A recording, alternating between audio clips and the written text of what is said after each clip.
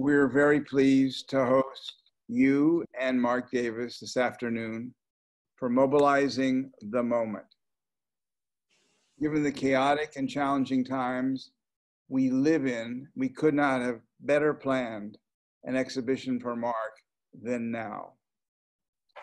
We have worked together with Mark for a quarter of a century, which sounds like a very long time even to me. That's nearly half the life of the gallery. We have never dreamed that the evolution of Mark's art and the amazing response to it would be what it is.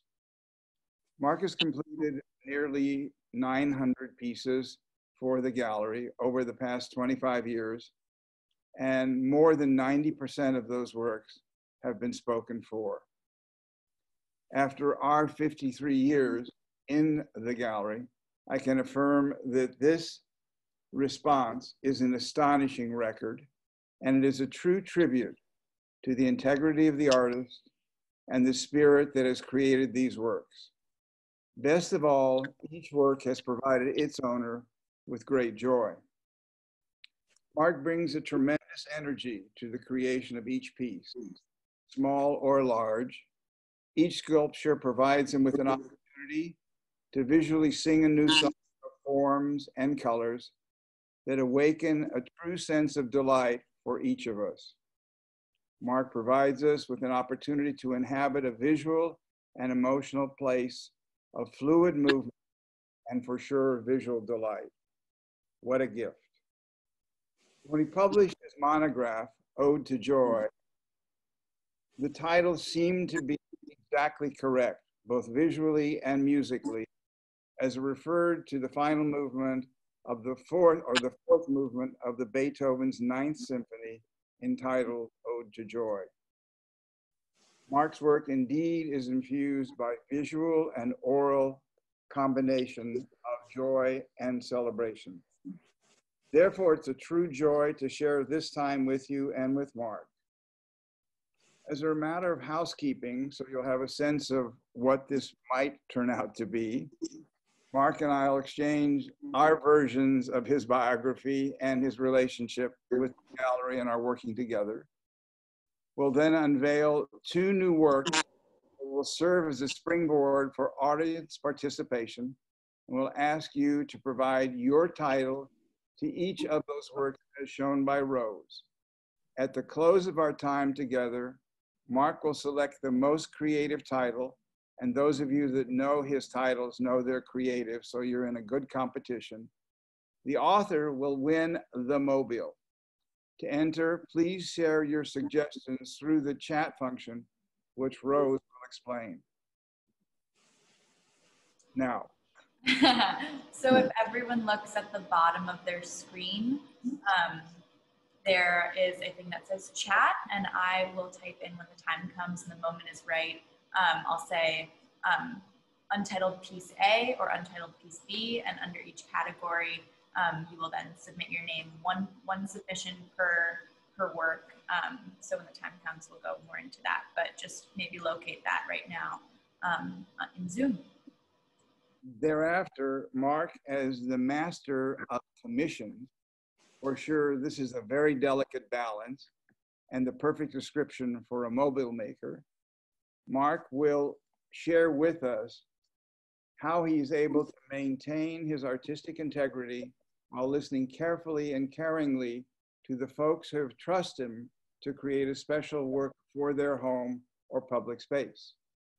Mark will share tales of four of nearly 50 such adventures. In all our years, we have rarely seen that an artist commissions relationship works 100% of the time but it has always worked with Mark. And it's because of who Mark is and how he is able to focus on each individual and listen to them carefully and then effectively satisfy himself and them with the work he creates for them. It's been an absolute joy and delight as the middle person in this relationship to watch that evolve and grow. And I must say that in all of our experience, that success rate, but also the sense of satisfaction on both sides has been a joy to watch. Finally, we'll revisit the untitled works, share your suggestions, and announce the winning title. So let's begin with mobilizing the moment as it is intended to awaken in all of us a time of pure joy and delight. Welcome to a joy-filled universe of Mark Davis. Mark, it's your turn to at least share from your perspective um, and uh, memory how this all began. Well, um, uh, I'm not sure where to start, Bernie. Um, certainly for uh, my connection with you, when I was a was a kid, I started making mobiles, uh, Copy and Calder, and uh, that was actually incredibly easy for me. And as I got into my 30s, I um, kept making mobiles, but they were very similar to that. They were dots on the end of wires, very, very Calder-like. Um, but I was playing with different materials, and I was also doing jewelry like Calder did. Um, now the jewelry turned into a business for me, and I was in New York City, uh, pounding the pavement uh, into all the major stores, uh, Saks Fifth Avenue, Bloomingdale's, and I was then met somebody at Tiffany's and started showing in the Tiffany windows. At that point, I was doing the mobiles, and I was starting to really get excited about my own identity of doing that. Um, after uh, a few years of just working and working and working, doing things uh, for whoever I could, I got much, my craft improved a great deal. And I realized that I had sort of an identity, even though I wasn't feeling that it was a confident, definite direction. It was definitely the idea of sculpture, uh, sculptors I enjoyed, painters I enjoyed, and um, I finally decided through a friend, my friend was Jim Shantz, who was with the Pucker Gallery. Uh, he brought me to gallery, to the gallery, and I met you, Bernie, and you seemed to think there was something there. So you took me on for a small group show. We actually sold a few pieces, which I think surprised both of us. And a couple of years later, you gave me my own show, and uh, it sold out. The whole show sold out. And that allowed me to buy the first house I ever had, take all the upstairs walls out, make a studio for myself, and get into it. And that's been the greatest joy of my life because, as I've said to almost anybody, I believe that my particular kind of artwork is develops by just doing it and doing it and doing it. And the fact that it was selling was like a huge bonus for me. Um, I couldn't believe it. And that was allowing me to keep going. So this is sort of the basic story. Mark, when you refer to that, you refer to from from my perspective, the most um, satisfying aspect of the gallery, which is the gallery's ability to it It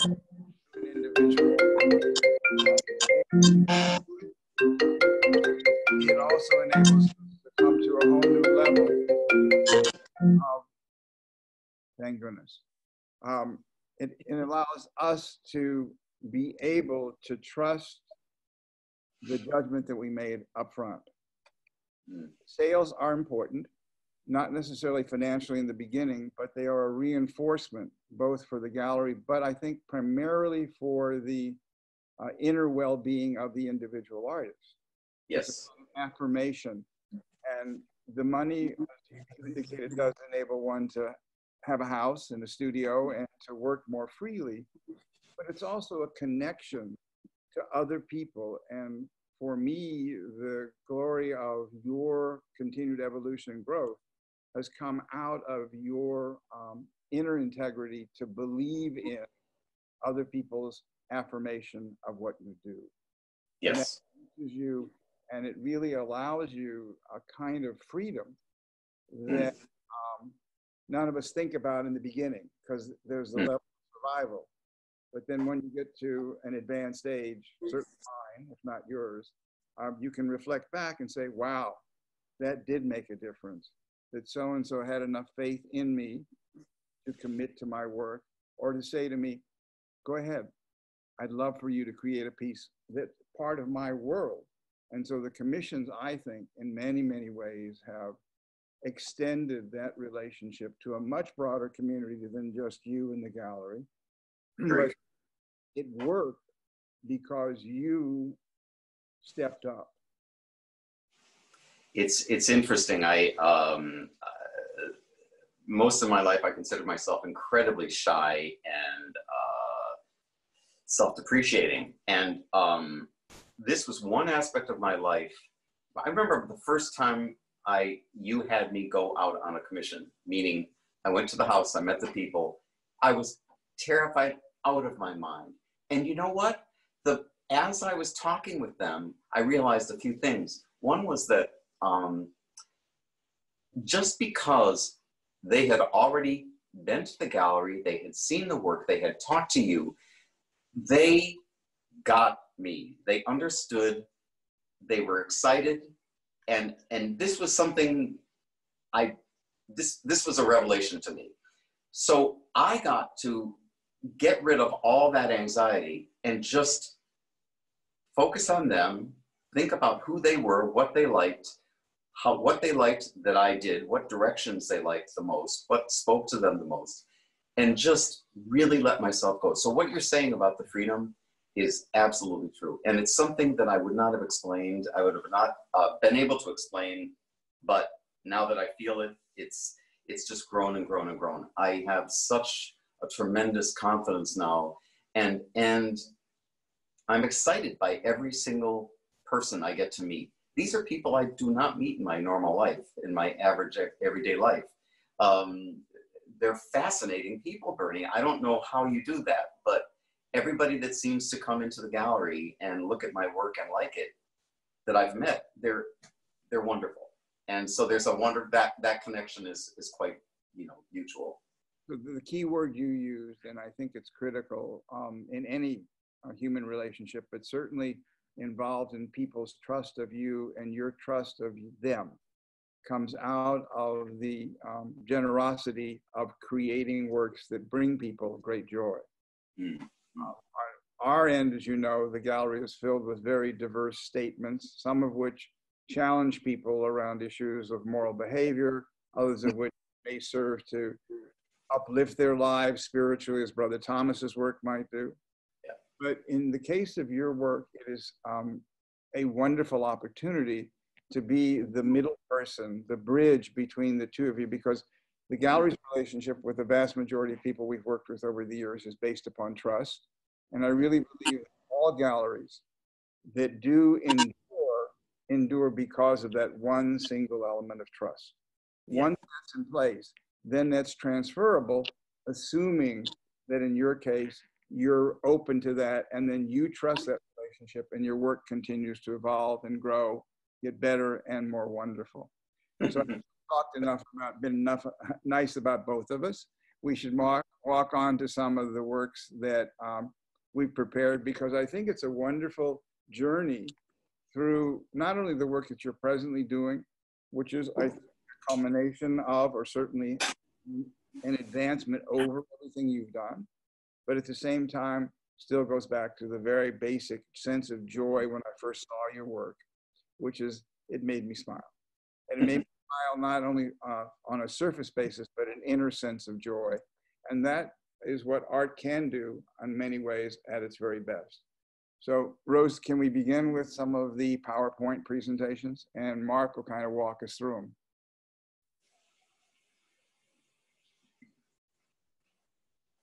Um, this is called uh, Center of the Nebula. Um, it, it was just, uh, it was actually a rather, it's a smallish piece. I think, what is it, 15 feet um, up and down, 19 feet across, uh, inches across. Um, and uh, the idea is looking up into the skies, looking up into the universe, and sort of a daydream. I mean, the whole thing is sort of reminds me of a daydream of the sky, of, of the planets, of the stars, uh, constellations.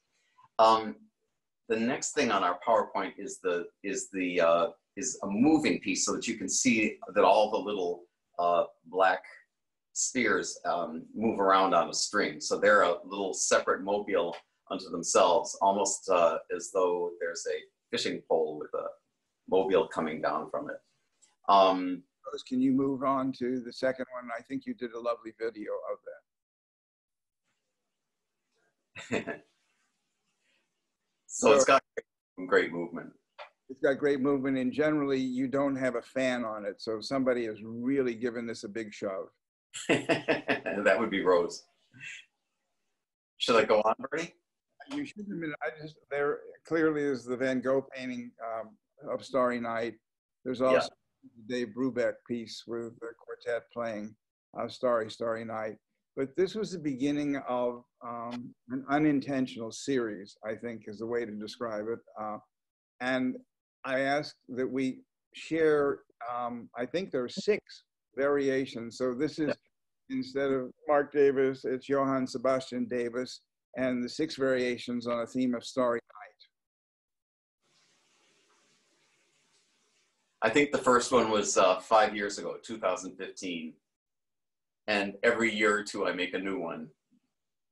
And they sort of follow something of a progression. Um, the first one I did was actually a, a, a, a, just a thank you card I did for a friend uh, with with cutout paper. And when I did the black background with the blue piece, and then these these these very spontaneously cut out um, stars with little trails, um, I, I said, "Oh, this is this is love like uh, the Matisse uh, cutouts that I love so much." Um, and it just had that sort of sense of joy, and I I thought, I, I really, really liked it. I took a photo of it before I gave it to my friend, and then I set about making my first piece. And uh, it's just, it's just fun to always go back to it. And now the one from this year, the last one, the large is quite large. It's you know three feet high, and uh, it's it's just a more fully formed, I think. But uh, each one has its own character. In addition to that, Mark, however, this is one of from my point of view, an invention of yours. Calder's works tended to float in space and move or hang from something, and these are wall mounted. So mm. the idea of creating color, shape, form, and movement where one might normally hang a painting, but benefit not only from the movement and the color, but also the shadows. Yes. Uh, creates both um, a very beautiful work of art, but it does something as well. It creates space and air.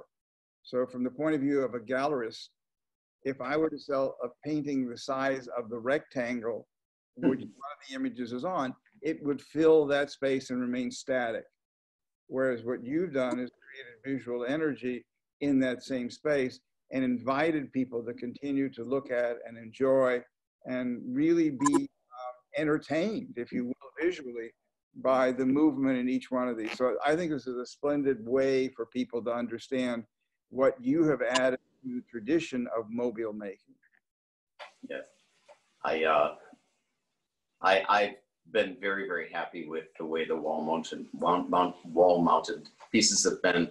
It, it, it, it arose from um, feeling as though I had done hanging mobiles and standing mobiles um, for quite a few years, and just I, I needed to, to expand. I needed to do something fresh and something new, and I didn't know what to do.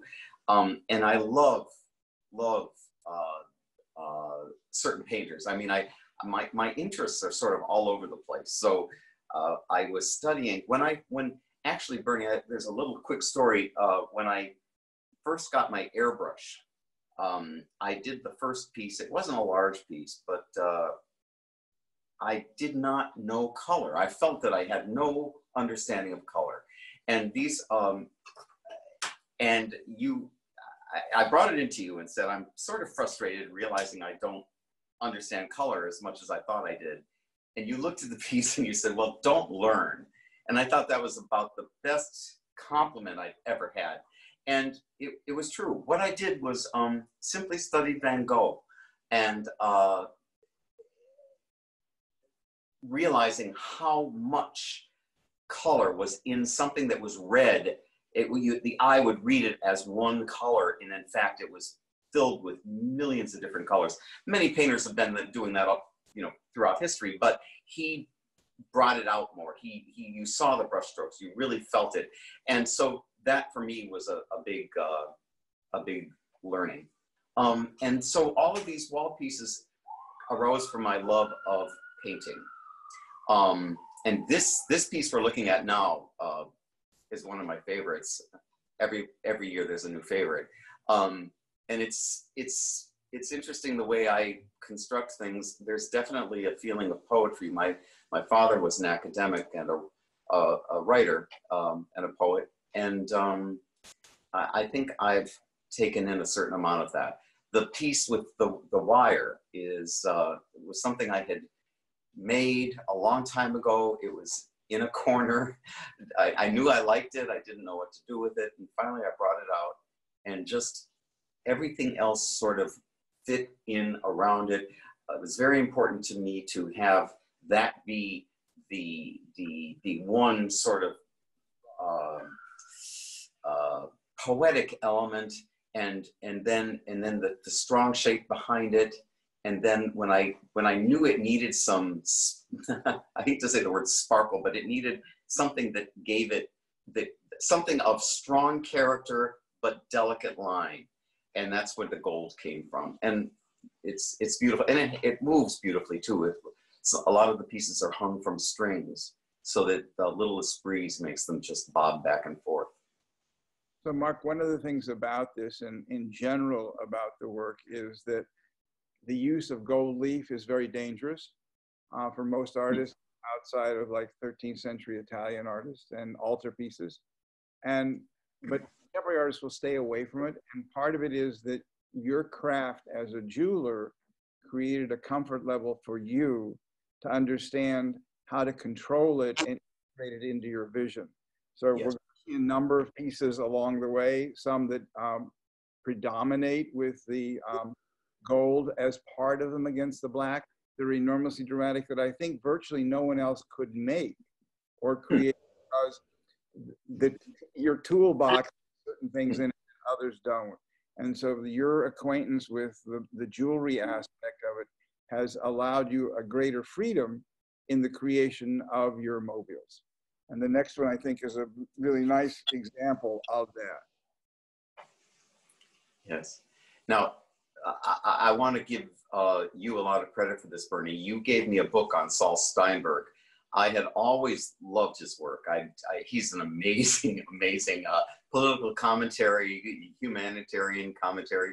Um, but what I loved about looking through the whole book and just immersing myself in it for about a week was um, he, he creates line and texture and connects them uh i don't know like like again the my word is poetry. Um and so i that inspired me to do just kind of things that that that felt more like like line and form in in a sort of a clean simple way. But then of course i had to make lots and lots of pieces that all move together. But that that was that's been a, a lot of fun uh, playing with this whole new direction. Well, I, I appreciate what you're saying. As you probably know, over the past five years, the gallery has committed itself pretty strongly to trying to acquire specific Steinbergs, not all the work that he did, but almost all of it um, is based upon the quality of his line.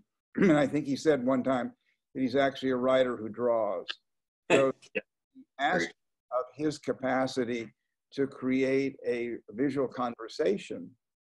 Um, I, in all honesty, I think I gave you the book with some intention. Um, I'm thrilled to see this piece and a number of others that sort of have the characteristics without being copied. And I think yeah. that's one of the strengths of your work in general is the capacity to really uh, integrate to yourself what you are inspired by and what, what brings you pleasure. And then find your own way to let it out again and to share it. And this piece is just a splendid example of it. The next one is, is a really quite marvelous piece. Um, and um, it's, I don't know if, Rose, I don't want to mess things up. If you can go back and forth between yourself with the piece behind you Oh, and yeah. Get a sense of the scale of it in the gallery. Um, Mark created this piece specifically for um, the new gallery. Um, it is the wall that you see as you walk in. Um, my guess is that it must have uh, hundreds of technical issues, out of which, as the gallerist, I need to worry about. But Mark has resolved in quite splendid ways. Seeing it on the screen, I want to just emphasize this for everyone who's watching, is a wonderful way to experience a work of art. It's as if you are looking at it through a camera and we've already cleared up everything on the field around you, and then you can simply enjoy it. So Rose, I don't know if you can go back to you um, um, and share that on the Let screen. me try. Let me try. That's it. There, there. Yeah. Size comparison. I remember when Mark brought this in, um, he, we did the first layer in the back, and I said, "Oh my gosh, it's beautiful." And he went, "Oh, it's not anywhere close to being done. Like you haven't seen anything yet." And I was like, "Well, you've given me the most beautiful backdrop. It's wonderful, but and huge." But that's a very helpful way, hopefully, for people to understand that there is the way you can see it separate from its uh, space or place where it's made for. But um, in all fairness, it could be put in any space that's large enough. Mark, would you like to talk a little about the creation of the piece itself? Um, yeah, I, I, I, I, think that uh, first of all, when I, when I, when you get off the elevator at the gallery, um, you see a huge wall behind the behind a row of desks, or the you know the, the one big desk in front, um, and I, you had just moved into the space, and I was getting very excited about all kinds of things my work the new space. I had my own room within the gallery um, and and i had the time to spend two months making this piece. Um, and i just wanted to push myself very very far and i did. And it's amazing to think that it has that many hours of work in it and yet it still has a clean simplicity to it. Um, so the idea was, first of all, to make something rather large, which gave me the ability to to spread out. I think it's very it was very exciting for me to really spread out, make it nine feet wide, and the idea of layering was very. I was very very excited about that. That's something that you know we we we have paintings that we you know paintings on the wall and and and we have sculptures, uh, you know, standing sculptures, bronzes. Um, we have Brother Thomas's uh, big forms, but there's something here with the layering that can't be done any other way. And they're all hung from strings. Everything is hung from strings, so that it all kinds of bobs and weaves as it, uh, in the breeze. But there's the the gray shapes in the back are one layer. Then the white pieces are another layer a few inches away, like six inches away from that. Um, the the the uh, amber colors are are kind of behind those white shapes, and then in front of all of it is that is one continuous mobile, the black lines, and um, I don't know say. It was just it was a real labor of love. I highly happy that that came out the way it did. You mentioned at the beginning, and I, I should have mentioned earlier on, that there was this wonderful move forward for you when the gallery moved uh, one block away because the ceilings in the old space were actually very low compared to the new space. And Yeah. for certain artists, it's not a good thing. The Gunnar Norrman uh, Five Points, Yeah. which is fair, feel a little lost in a large space like it. But for your work, it really provided you with a new opportunity And this piece certainly, I think, and you've called it tempered, exu- tempered exuberance. I would call it just plain old exuberance. But I think it works quite wonderfully. And it's a wonderful welcome visually to anyone who comes into the space. So the final two pieces we're going to talk about together before we move on to the commissions. Rose, if you can put those up, be great.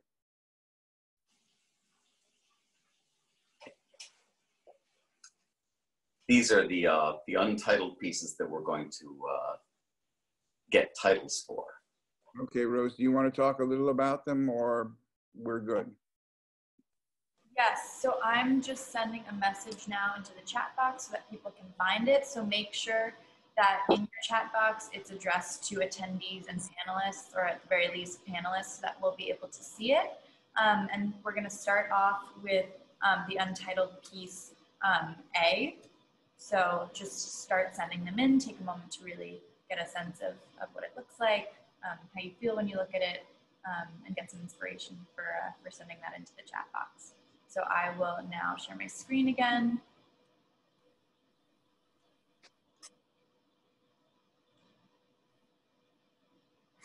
There you go. So there you have one and two. Uh, A is on, as you're looking at your screen, on the left, um, and the other on the right. And I think we can take a couple of seconds. Uh, years ago, I was involved with a situation where I suggested to the clergy that it would be very nice if we took a minute, which is 60 seconds of silence, uh, for people to reflect. Um, and about 25 seconds later, he gave up. But I think if we take, people are not used to silence, but I think if we give another few seconds of just enjoying both A and B, then very much, um, I, since I spoke a bit at the beginning about Mark's commissions, I asked him if he would be willing to talk about four of those commissions to give a sense of what I had tried to imply, which is his capacity to both um, engage, hear, and same time create a work of art that satisfies his standards. So I think we can probably move on to um, the commissions. All right, and then if you want to um, continue thinking about this, um, maybe making a mental note of A and B and sending them in as you will, but I'm noticing people are sending in wonderful names already. Um, Yeah. But if you haven't done B yet, you can start putting in B. And if we change from this PowerPoint slide, then just label it A or B so that we know which one you are, are, are making.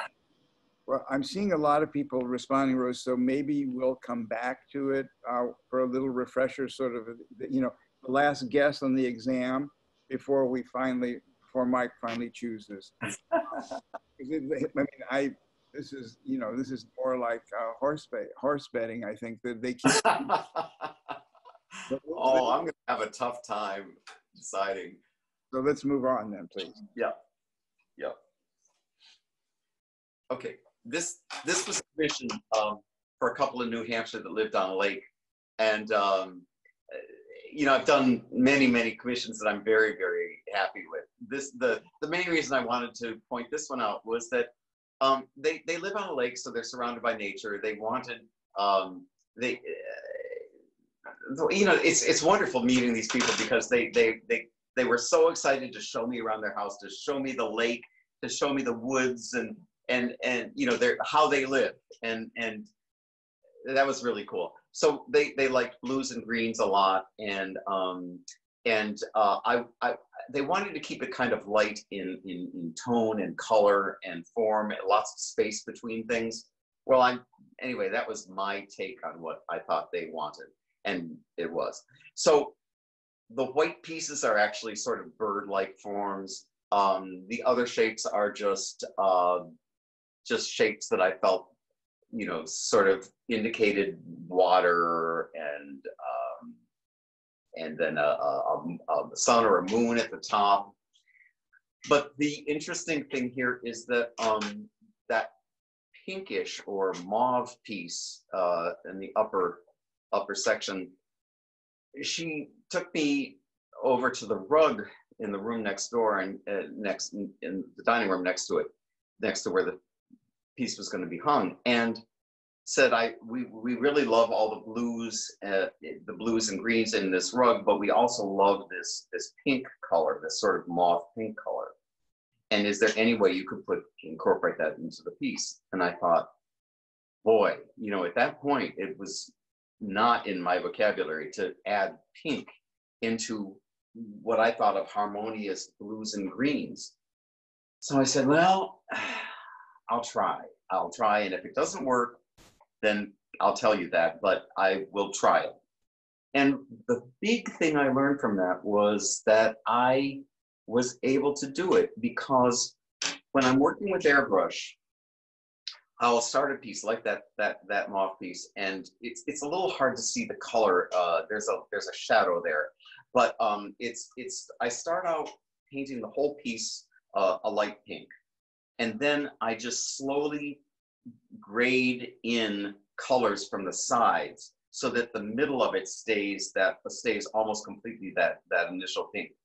But the colors on the sides, if I added just the littlest bit of blue to that palette, it's so fine a spray that it, the, the eye doesn't pick it up as blue.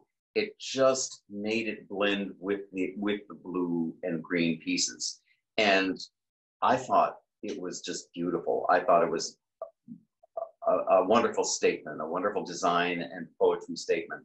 And um, anyway, that's that's the reason I wanted to bring that one up, is because there's a lot that I learn when I'm talking to people, trying to, you know, they have an idea, I know what I can do, and there's a symmetry that does happen. And there are many times that I've tried things that I thought I would never be able to do. And I figured out a way to make it work. And, you know, I never went to school. I, I took a three week craft course and uh, learned how to do metal forming, uh, sheet forming. And that was it. And honestly, for years, I thought that was a detriment. Now I realize that I was very lucky because I keep my mind very open because of that, I think. Well, I think part of it is that, Mark, but I would argue on an ongoing basis that um, who people are really is who they are.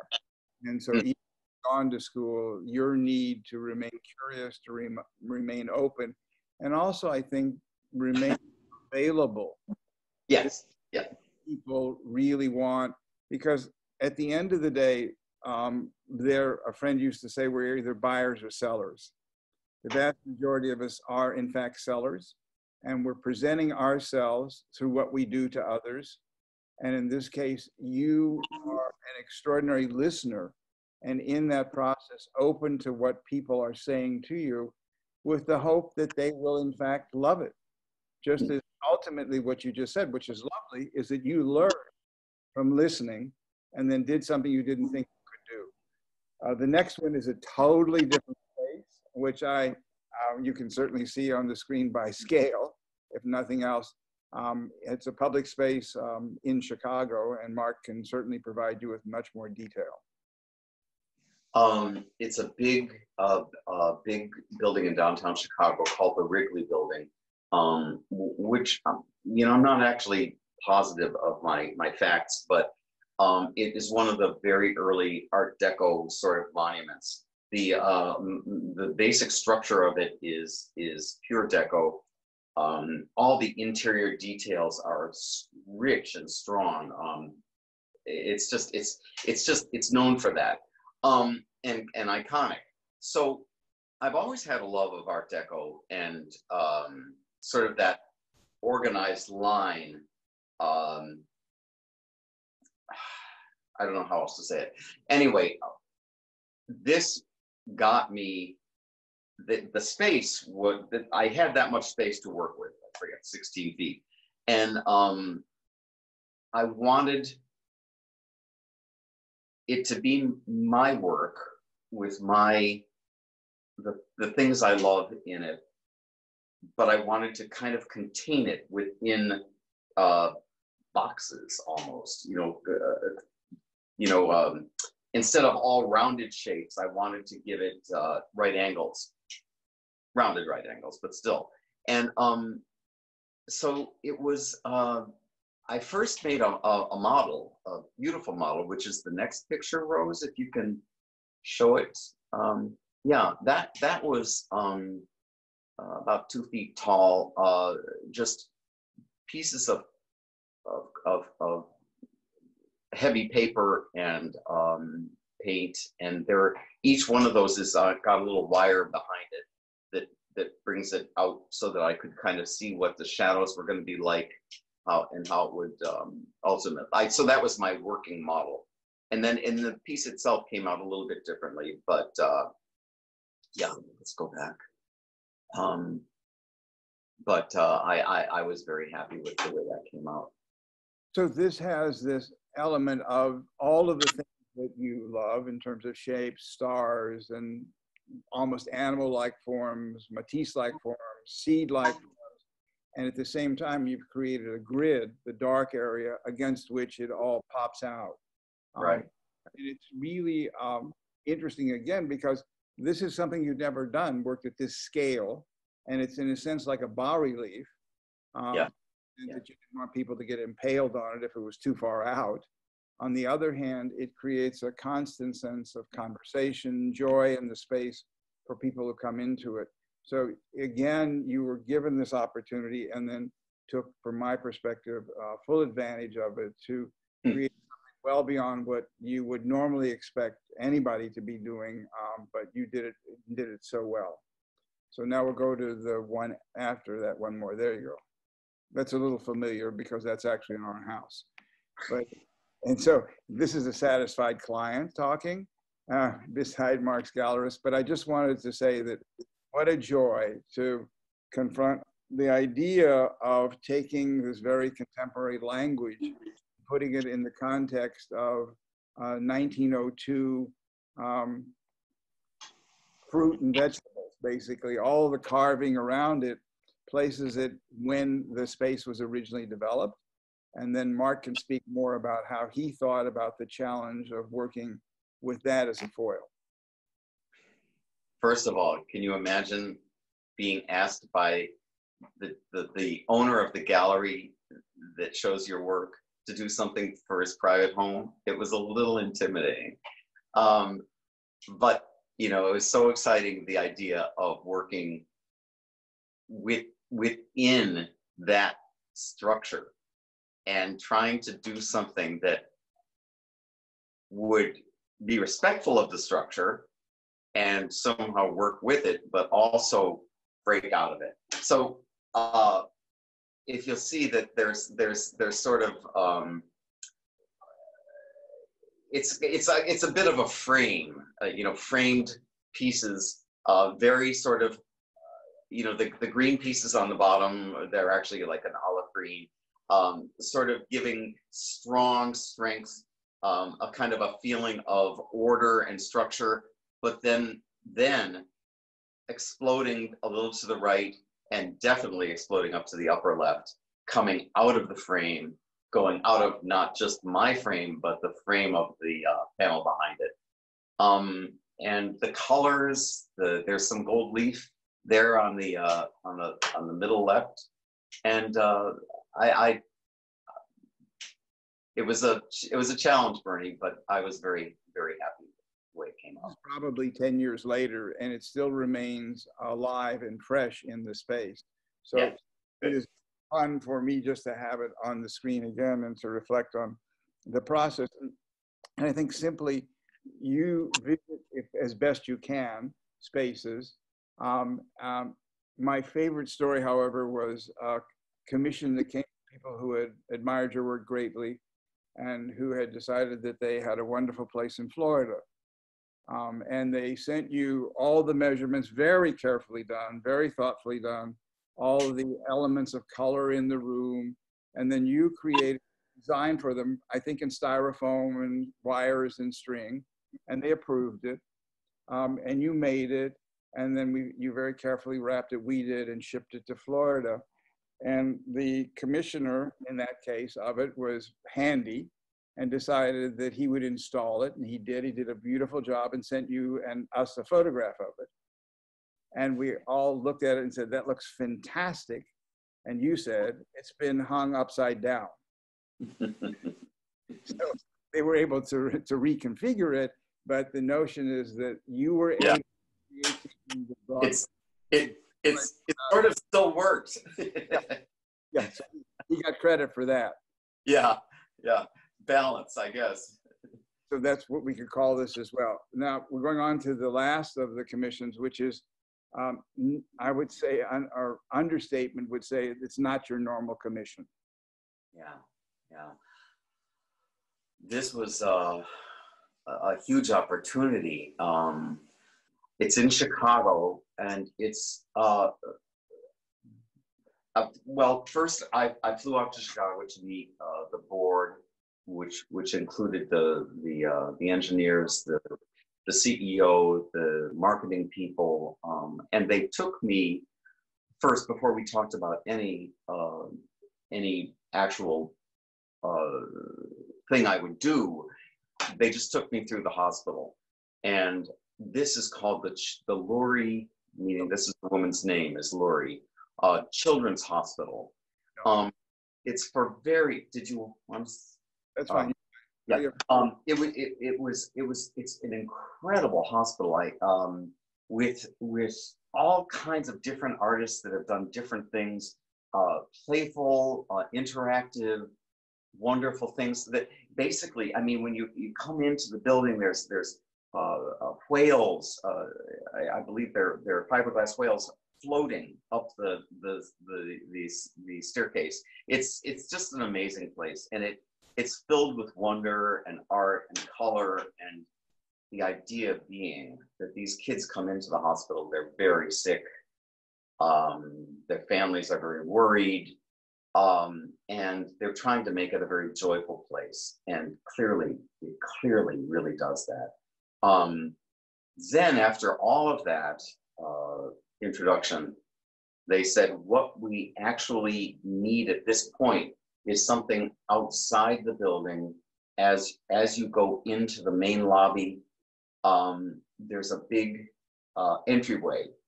And it's got these huge columns that hold up the rest of the building. And uh, and their initial plan was to to get an artist to do a, a, sculpture in the middle of those columns. And this was they, they had somebody that had done stacked stacked glass pieces in the middle. And it was just sort of another column. It didn't really have much uh, it didn't really quite work. And they were they were trying to figure out what would maybe work the best. So seeing as i work with mobiles and i could not make something that moved because we're outside in chicago uh, the windy city and so but i thought i could still give the feeling, the, the, the, the appearance, the feeling, the energy, the excitement of movement above people's heads because there was enough room. There was a very high, it was a very high ceiling. In the, in the big picture in the middle, you can kind of see the dark shapes are actually the height people. Um, so it was quite high. Um, and I said to the CEO at the time, I said, can you, can you imagine rather than a sculpture placed somewhere here, that the entire surface of the ceiling is filled with waves, um, just waves. And the whole team just thought that was a wonderful idea. And it just kind of came to me as sort of an inspiration. And then a few minutes later, he turned to me and he said, Can we use lighting? Can we make it, can we put lights in it somehow? And I said, Let's give it a try. So from then, from then, I, I did a, a model um, of what I was thinking of, which basically was what we now have. Um, because of structural issues, because of the idea of putting the lighting in, there were all kinds of um, of things to consider. And it was a team that I was working with, a team of, of engineers, uh, architects, designers. Um, it, it was, I made six, at least six different models because everything had to keep changing. And the main thing there was that because of all this uh, practical concerns, my job um, was to keep it fresh, to keep the initial idea of the waves no matter what they said, well, we can't use that material, we can't do that that type of thing. We've got to think of something else. It ended up being in fiberglass, which was brilliant. Um, there are little LED lights in, installed in the edges of these on a computerized system so that um, it goes from one side to the other or one end to the other, uh, moving along each piece slowly and changing color. It's the most amazing thing. And um, I know Bernie has had uh, good input, and I have too from people that uh, you know come to see it. This is 2012, so it's been eight years, and it's it's just as exciting now as it was then. Um, uh, that's pretty much the story of making it.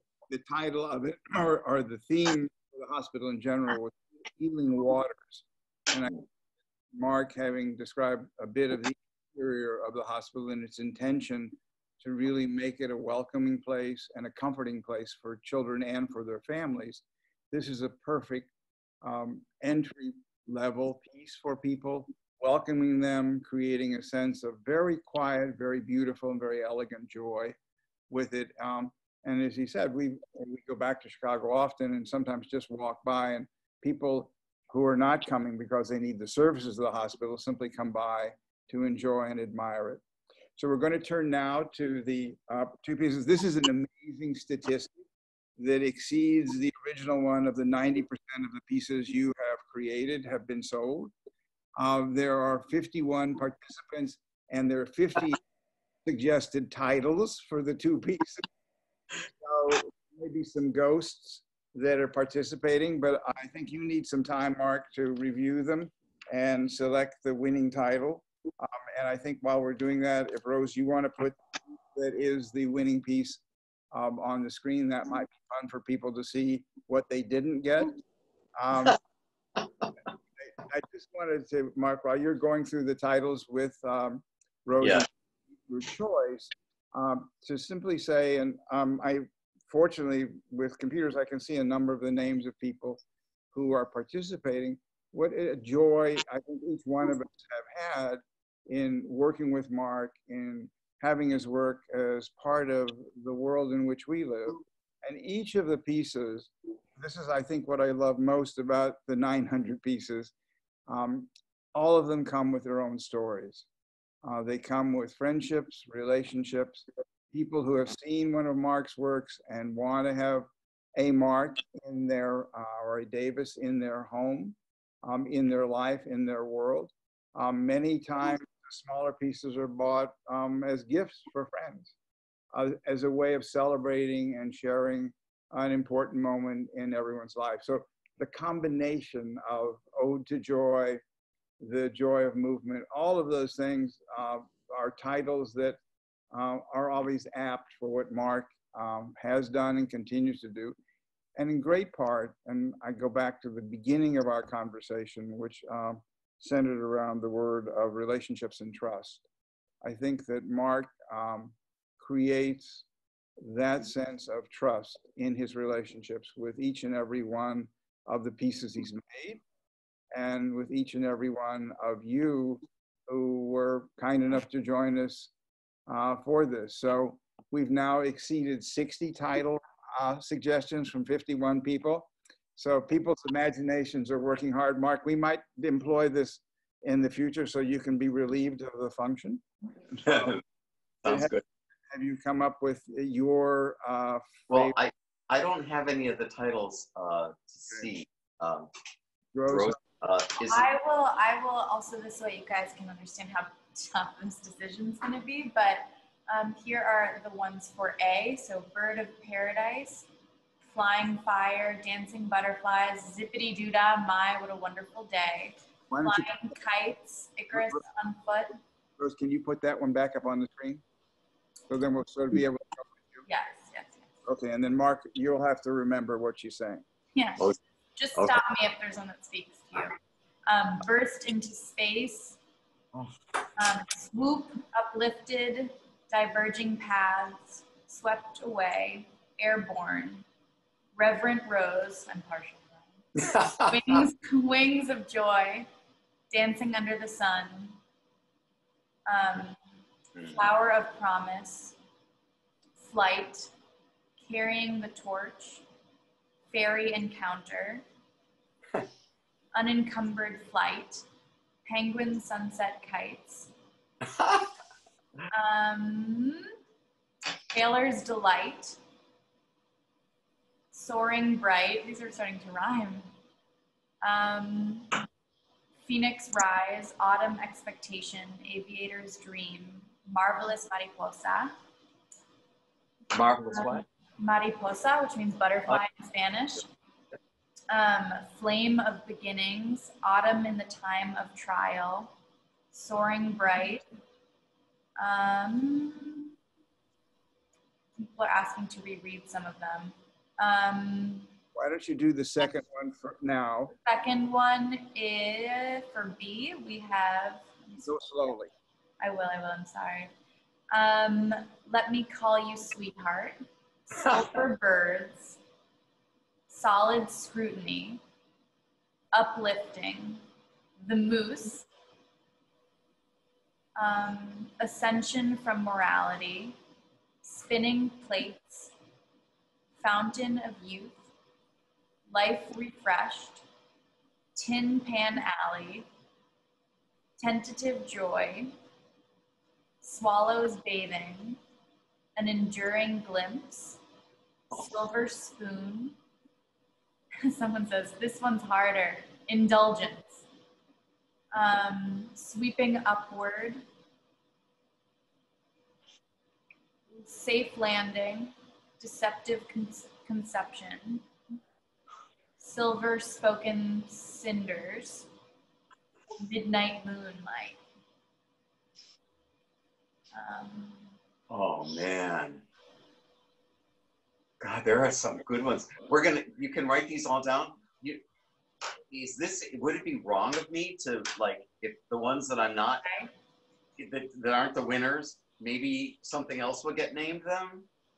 Um I don't think there are copyrights on the name, so you that. yes, Rose, if you- good, good. I have oh, I uh, for piece B, Aphrodite's laughter Yeah.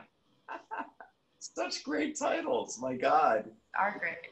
Will you You go? guys are good. Can, can you do? The, I, I, there's two that I, I want to remember. And wait, I'm gonna uh, write down. Uh, can you do beside uh, the number two again? Just I'm sorry, Rose, but I need to. Um, number two's Let Me Call You Sweetheart, Silver Birds, um, Uplifting, The Moose, I love that. Oops, Your Scru- Oops, Your Sanctuary, Fountain of Youth, Life Refreshed, Tentative Joy, Swallows Bathing, An Enduring Glimpse, Silver Spoon, Indulgence, Sweeping Upward, Dancer, Aphrodite's Laughter,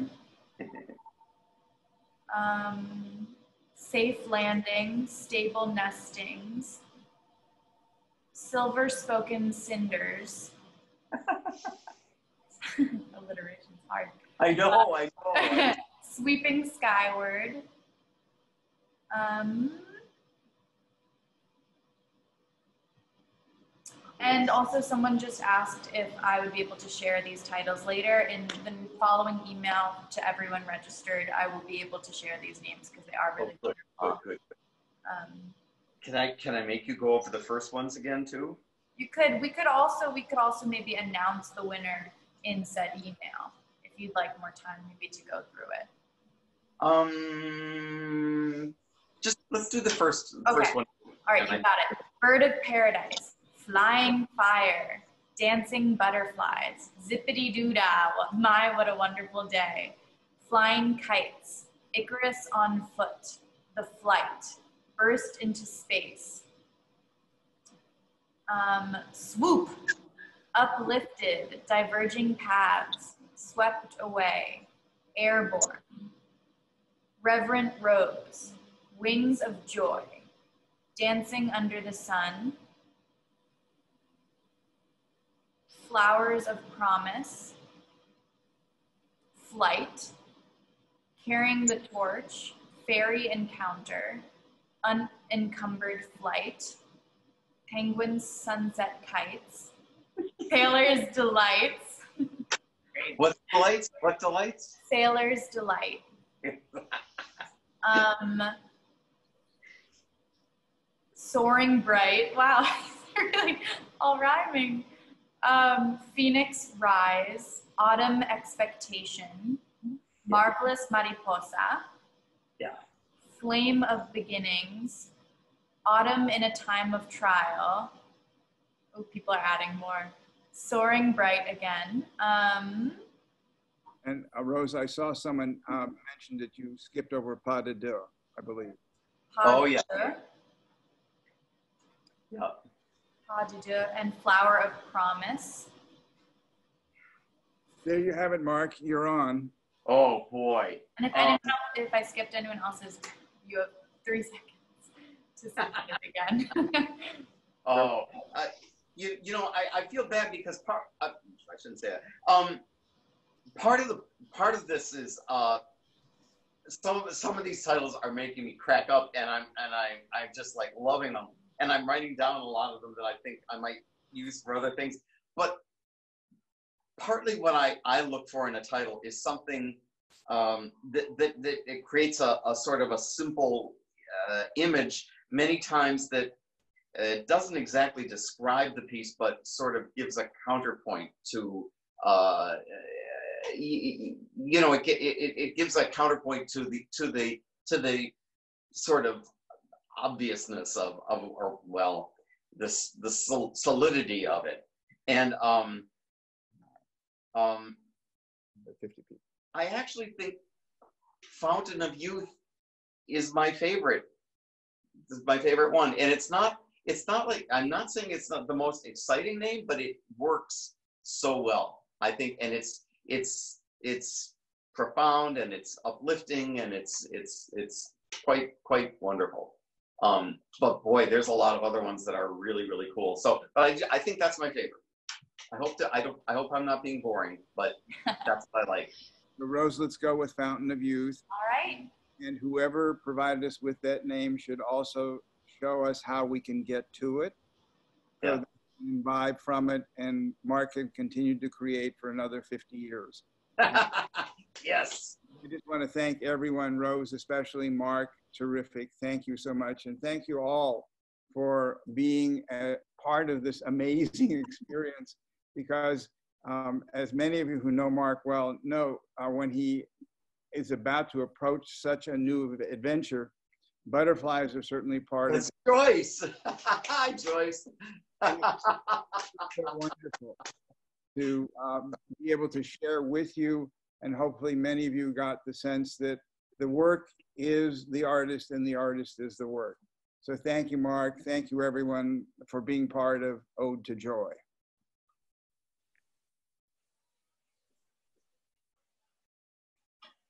See you, Mark. Bye, Bernie. Thanks.